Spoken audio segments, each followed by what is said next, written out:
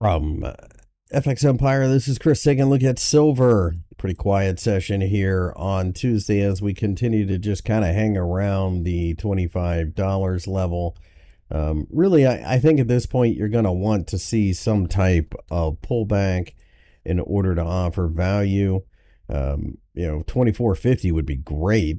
Uh, but right now, we're just working off some froth. If that continues, you know, the longer it continues, the more likely uh, we are to just go higher. Short term pullback with some type of bounce uh, on a 50 cent drop or so would be nice.